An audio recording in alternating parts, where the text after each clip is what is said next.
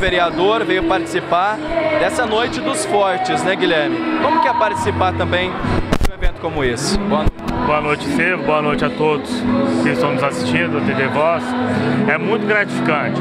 Gratificante você poder acompanhar ainda mais nosso presidente da Câmara, como muito bem lembrado, sempre com respeito e dignidade aos próximos.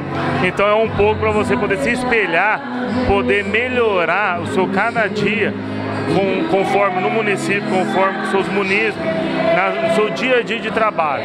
Então é, é muito bom, muito gratificante você participar, você ver os empresários, comerciantes, na área política também, poder fazer parte desse momento da TV Voz, do jornal, para poder você de, desenvolver mais ainda cada dia o seu dia a dia, ainda mais com a população orlandina. Eu fico muito grato hoje estar aqui participando ao lado do meu presidente da Câmara Municipal.